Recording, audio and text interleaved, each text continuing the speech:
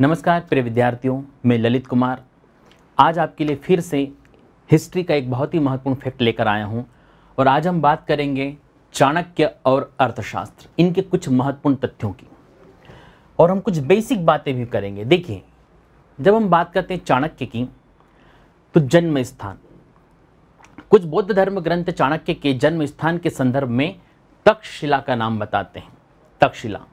वहीं कुछ जैन ग्रंथ चाणक्य के जन्म स्थान के संदर्भ में तक्षशिला के पास एक स्थान है ग्राम, चरणग्राम को उनका जन्म स्थान बताया गया है। और चूँकि चरणग्राम से संबंधित रहे हैं, इसलिए आप देखेंगे चाणक्य के पिता का नाम, चाणक्य के पिता का नाम चणक।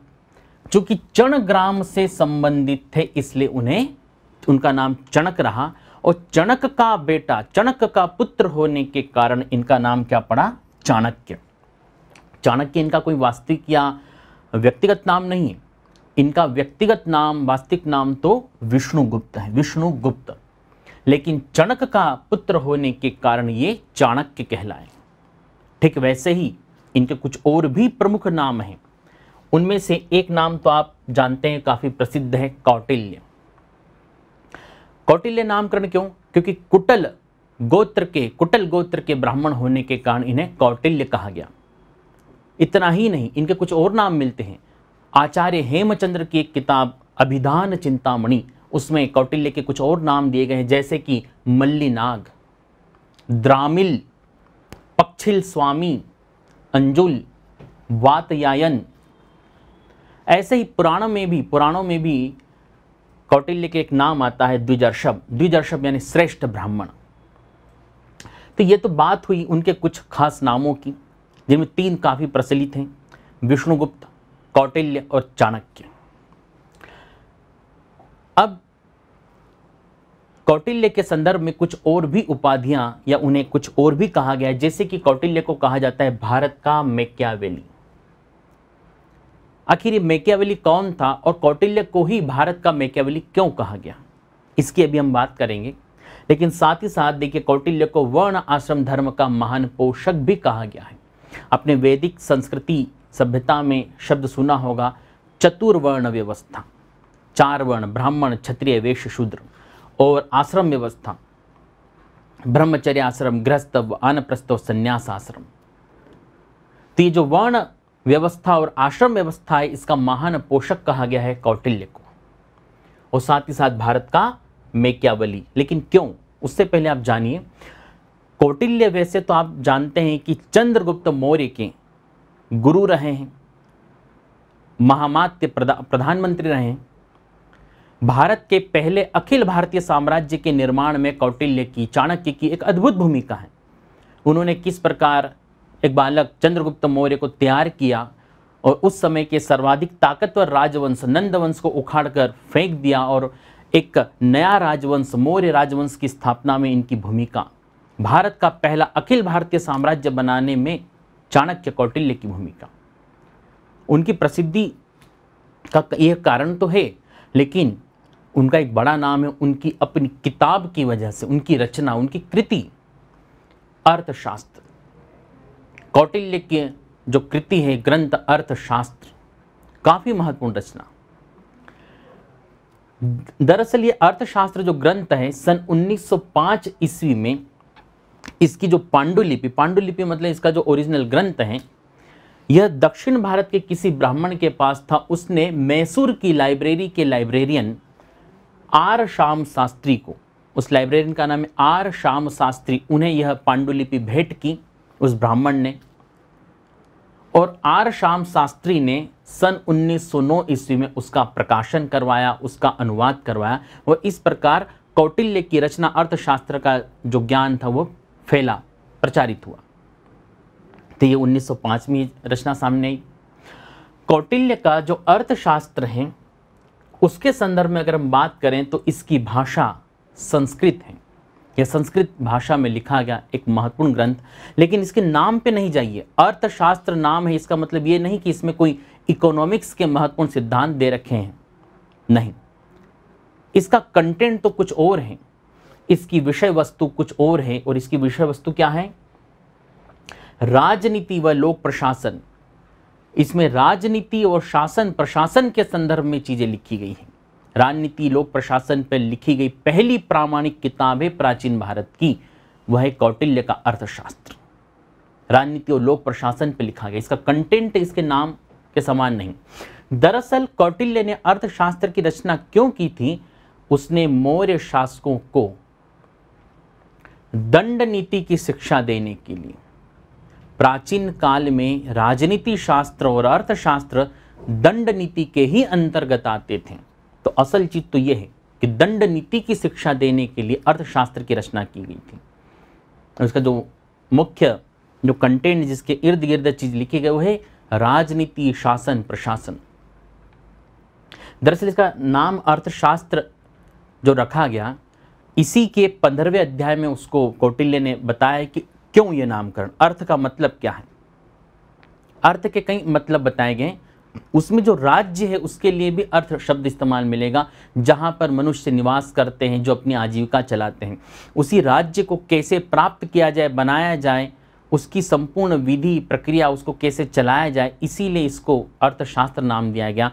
यह एक प्रकार से राज्य का विज्ञान है, राज्य का विज्ञान। तो बात तो यह अर्थशास्त्र की, उसका कंटेंट क्या है, उसकी भाषा क्या है? अब बात करते हैं। ये जो कौटिल्य की अर्थशास्त्र रचना है, इसकी तुलना, देखिए, बहुत ही महत्वपूर्ण किताब से की जाती है, और उस किताब का नाम है द प्रिंस। और यह किताब द प्रिंस किसी और की नहीं, बल्कि ये किताब उसी मेकियावेली की है। अब हम बात करते हैं मेकिया, मेकियावली कौन था? मेकियावली एक राजनीतिक विचारक रहा है यूरोप का। बात है लगभग 1470 के आसपास की। यूरोप का एक महत्वपूर्ण राजनीतिक विचारक पॉलिटिकल थिंकर मेकियावेली उसने किताब लिखी द प्रिंस तो आखिर इनकी तुलना क्यों की जाती? अर्थशास्त्र की तुलना द प्रिंस से और कौटिल्य को भारत का मेकियावली क्यों कहा जाता है? तो देखिए, कौटिल्य अपनी किताब अर्थशास्त्र में जो बात करते हैं वो किसकी है? एक तो होती, देखिए, एक चीज़ होती है आदर्शवाद। क्या आप बहुत आइडियलिस्टिक या यूटोपिया की बात करें, कौटिल्य आदर्शवाद या यूटोपिया की चर्चा नहीं कर रहे हैं। एक आदर्श राज्य की चर्चा नहीं, वह राजनीति में यथार्थवाद की बात कर रहे हैं। यथार्थवादी राजनीति रियलिस्टिक यानी कि वास्तव में होना क्या चाहिए? प्रैक्टिकल क्या है? कैसे युद्ध जीता जाए? मतलब एन केन प्रकरण, साम दाम भेद दंड वाली चीज़। तो कौटिल्य अर्थशास्त्र में व्यवहारिक राजनीति यथार्थवाद की बात कर रहे हैं। वो किसी प्लेटो की तरह आदर्श राज्य की बात नहीं कर रहे। उन्होंने यथार्थवादी राजनीति की बात की है और यूरोप के राजनीतिक विचारक मेकियावली ने द प्रिंस में भी यथार्थवादी राजनीति की बात की है कि वास्तविकता में कैसे पॉलिटिक्स होगी, कैसे राज्य बनाया जाएगा, कैसे जीता जाएगा, कैसे शत्रु को हराया जाएगा। तो यथार्थवादी राजनीति की बात दोनों कर रहे हैं, इसलिए तुलना की जाती है। और अर्थशास्त्र की तुलना द प्रिंस के साथ करते हुए कौटिल्य को भारत का मेक्यावली कहा जाए क्योंकि दोनों बात एक जैसी कर रहे हैं। दोनों की दिशा एक है। तो अब आप जान गए होंगे कि आखिर अर्थशास्त्र की तुलना द प्रिंस के साथ क्यों की गई और कौटिल्य को भारत का मेक्यावली क्यों कहा गया? अब बात थोड़ी सी देखिए, अर्थशास्त्र में किन महत्वपूर्ण चीज़ों का वर्णन है। कुछ खास चीज़ें। अर्थशास्त्र में एक तो वर्णन है राज्य की उत्पत्ति का ओरिजिन ऑफ़ स्टेट आखिर राज्य बना कैसे? आप सभी ने सुना होगा, एक सिद्धांत आता है देवीय, कि राज्य ईश्वर द्वारा निर्मित है। और एक आता है सामाजिक समझौते वाला। तो कौटिल्य बड़ी यथार्थवादी प्रैक्टिकल बात करते हुए कहीं ना कहीं वो समझौतावादी जो सिद्धांत की ओर बात कर रहे हैं। तो इसमें राज्य की उत्पत्ति कैसे हुई, उसकी काफ़ी अच्छे से चर्चा है विस्तृत। दूसरा, सप्तांग सिद्धांत। कौटिल्य सप्तांग सिद्धांत की बात करते हैं। यानी जो राज्य बना है, उस राज्य के कौन कौन से अंग हैं?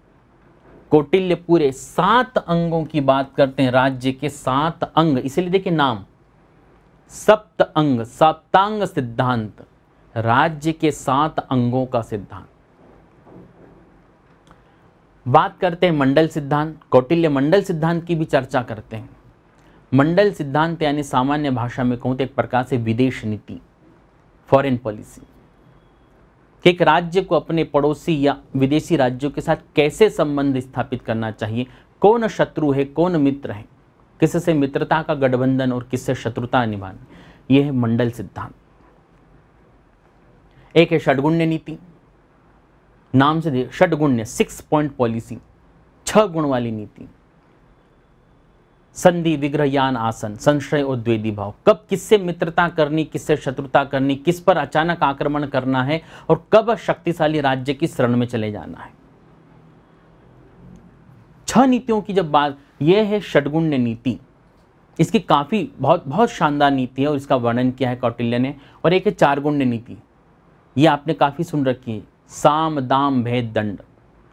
चार गुण नीति चतुर्गुण्य नीति। और राजस्व, कौटिल्य अपने अर्थशास्त्र में रेवेन्यू राजस्व प्रशासन की भी बात करते हैं। और बताते हैं कि जो भू राजस्व राजा एक बटा छः लेता है। इसके अलावा और भी चर्चा है। कौटिल्य अर्थशास्त्र में शूद्र वर्ण की बात करते हैं, शूद्रों को आर्य कहते हैं। कौटिल्य अर्थशास्त्र में दासों की बात करते हैं, दास प्रथा की। कौटिल्य ने अर्थशास्त्र में नौ प्रकार के दासों का वर्णन किया है, नौ प्रकार के दास। जबकि कौटिल्य के ही समय मेगस्थनीज, जो कि एक यूनानी राजदूत था, सेल्यूकस निकेटर का राजदूत मेगस्थनीज, उसकी किताब इंडिका। मेगस्थनीज इंडिका में लिखता है कि भारत में दास प्रथा नहीं है, लेकिन कौटिल्य अपने अर्थशास्त्र में नौ प्रकार के दासों का वर्णन करते हैं। तो ये तो कुछ महत्वपूर्ण चीज़ हैं जो कौटिल्य वर्णन कर रहे हैं। तो आज हमने कौटिल्य और उनके अर्थशास्त्र के बारे में यह कुछ महत्वपूर्ण चीज़ें देखी हैं। इसी प्रकार नेक्स्ट वीडियोस में भी मैं आपके लिए कुछ महत्वपूर्ण तथ्य लेकर आऊँगा इतिहास के और एकदम सरलतम रूप में। तो फ़िलहाल इतना ही, धन्यवाद।